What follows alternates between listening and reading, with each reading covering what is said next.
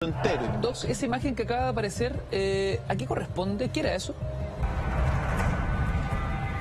Esto que estamos viendo son otro fenómeno muy extraño que son las llamadas nubes iridiscentes. Ignacio. Nubes, nubes de, de colores.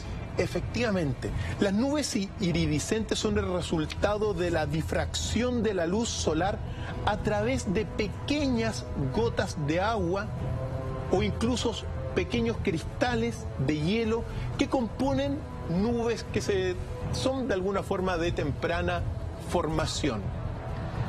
Estas nubes iridiscentes constituyen hoy por hoy uno de los temas más polémicos que enfrenta a estos fenómenos naturales con lo que se llaman las armas geológicas como el HARP, Ignacio. Porque muchos investigadores están señalando que en realidad esta formación natural podría llegar a ser producto también de estos pulsos eléctricos, digamos, estos pulsos del HARP que van a producir sismos o incluso terremotos. En consecuencia, cuando sal- surge este impulso electromagnético eh, emitido por una antena del HARP que choca con la ionosfera, después rebota en la Tierra, claro, al pasar de vuelta por una nube, te podría llegar a significar estas nubes. Es un pulso, o podría ser un pulso. Por lo tanto, las nubes